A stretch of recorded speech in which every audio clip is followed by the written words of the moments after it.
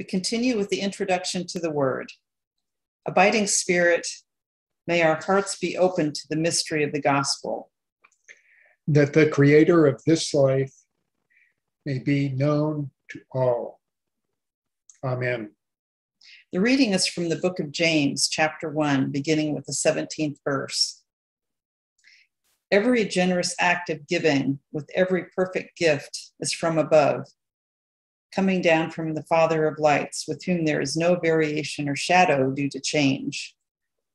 In fulfillment of his own purpose, he gave us birth by the word of truth, so that we would become a kind of first fruits of his creatures.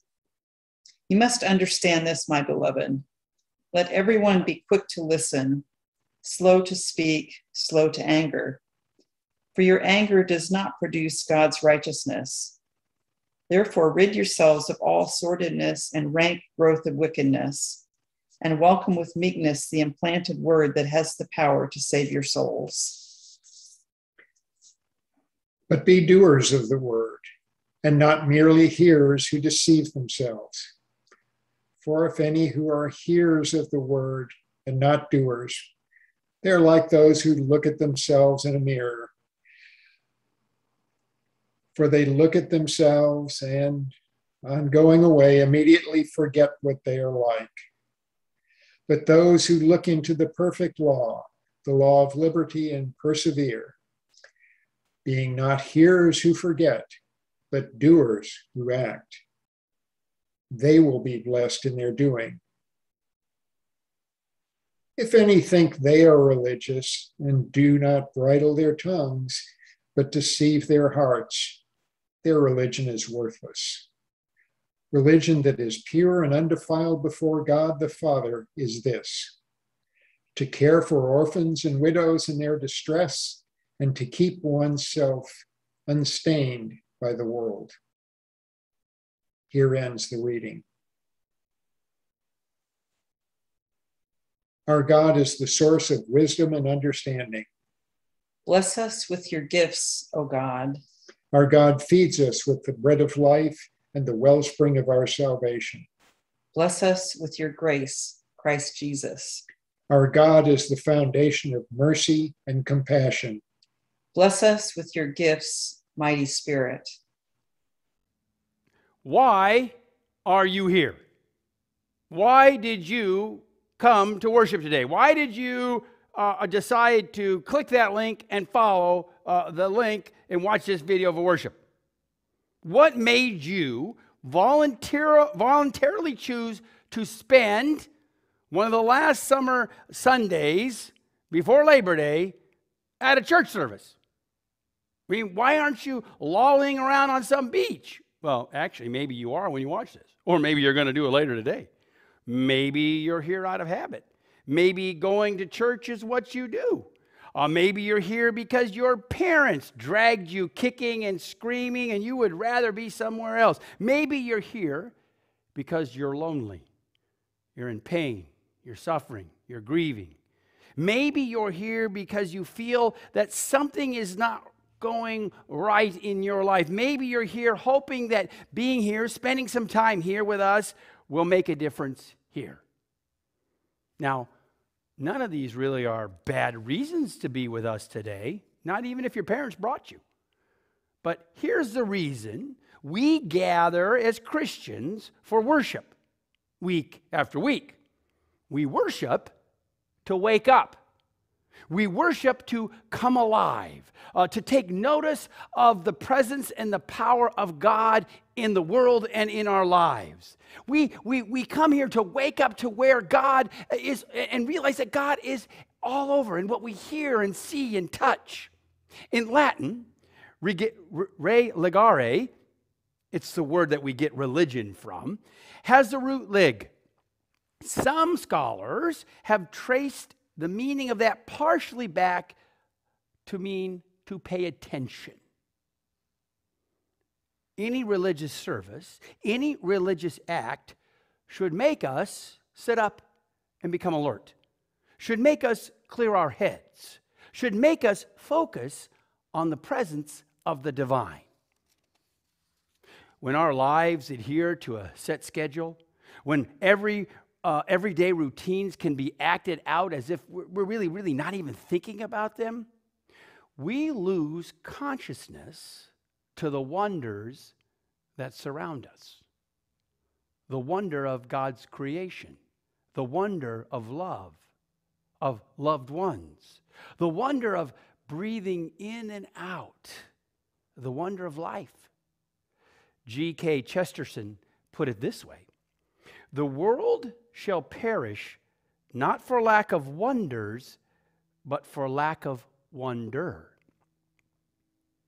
The world will perish when we no longer wonder. Today's reading from James. Uh, it's a message that we need to hear today. And the first part of James's message is this it's there to remind the readers, the listeners, the hearers, that every gift as James puts it, every perfect gift, all good things come from God. We have done nothing to deserve God's gifts. All we simply must do is receive them. Now, there are some of us who have trouble receiving gifts. And let me ask you something. Usually, what's the first thing you do when someone has given you something? You say, unless you were raised by wolves, you say, thank you. One of the first items, one of the first steps in socialization that we teach our children is to learn to say thank you. It's courteous, it's, ex- it's an expected response. Worship is our time to pay attention.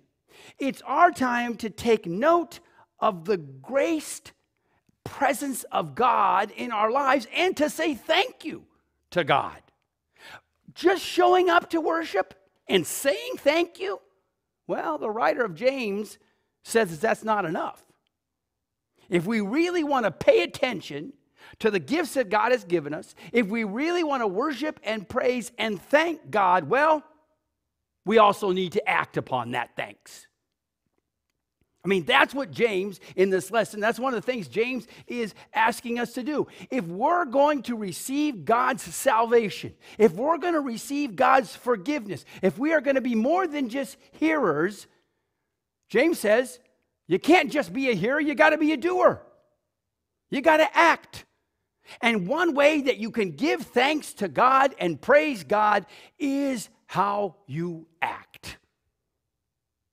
And James even starts the lesson, the list for us of ways that we can, in thanksgiving to God, in praise to God, how we in our lives can reflect our thankfulness to God.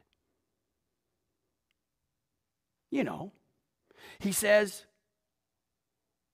bridle your tongue. Well, what my grandma used to say is, watch your mouth. James says, to reflect the thankfulness, to live the, the thankfulness of God in the world, watch your mouth. Watch what you say. Take a breath before you press send. Don't let the first thing that pops into your head pop out of your mouth. Don't speak out in anger. Choose your words slowly, carefully. James is, in a sense, saying, be your own first and best editor. So, being a doer involves more, though, than just watching your mouth. James gives us a second one. James says, Watch out for others. And he gives us an example from the time. Watch out for those who are fragile, watch out for those who are helpless. And James cites the Old Testament when he says, Care for orphans and widows in their distress. During biblical times, the orphans and the widows had no head of the household to protect them. They were not socially recognized. Their employment was unlikely. They usually lived in poverty and in homelessness. And so James is saying if you want to say thank you, if you want to act out your thanks to God, then you need to look to the fragile and to the unprotected. You need to look and help those who are vulnerable, who are living in the midst and yet still on the fringe. And James would say, You have a responsibility to them.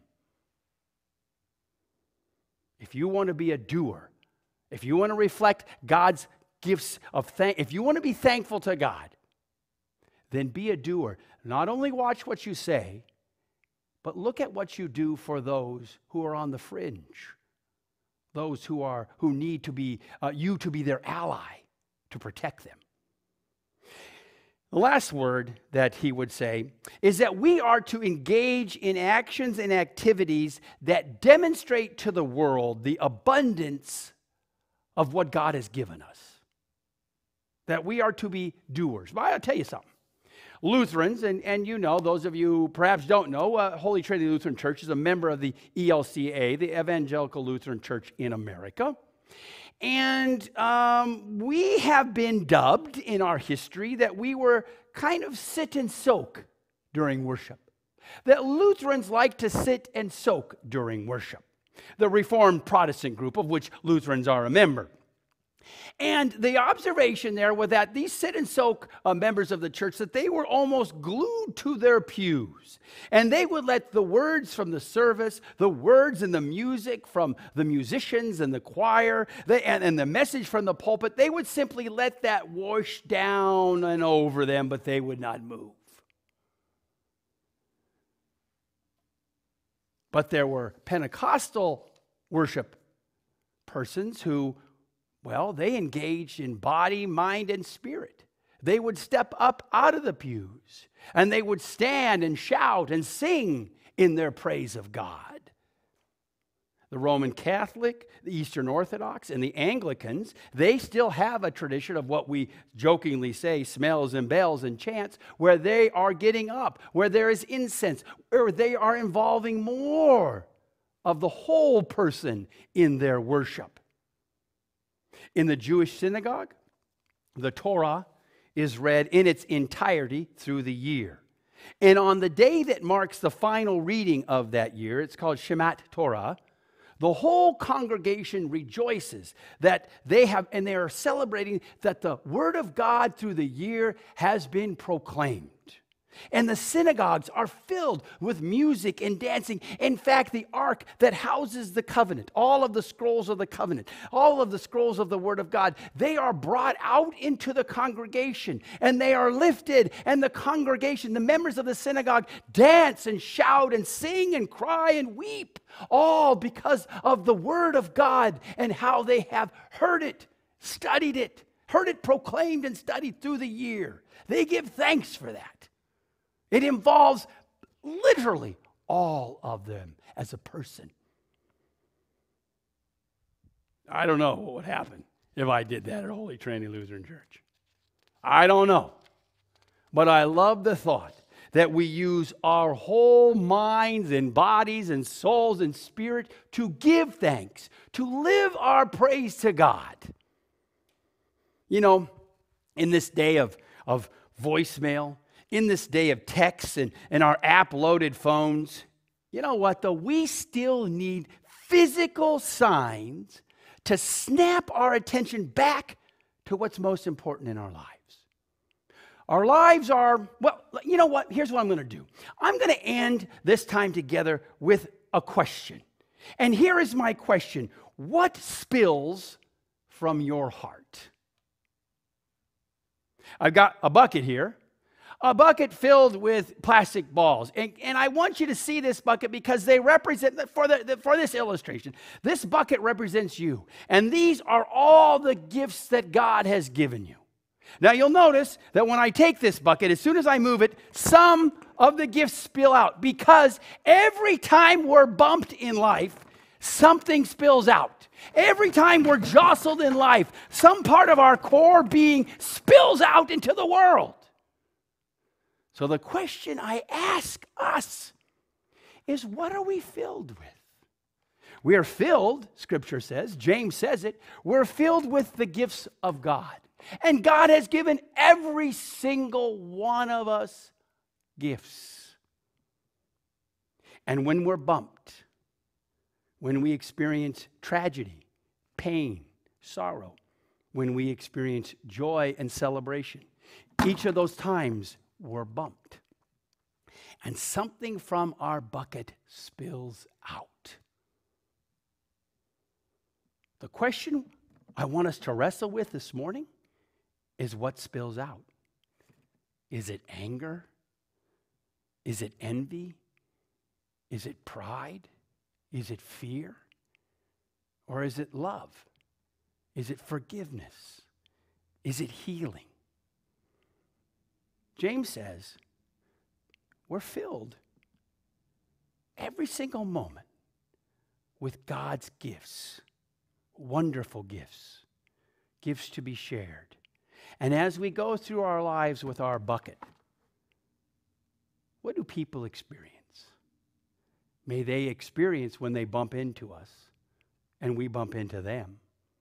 And when we bump into the, the joys, the trials, the struggles of life, may, may what comes out of our bucket be love, gratitude, hope, peace, forgiveness. All of these are important. All of these are needed. Amen.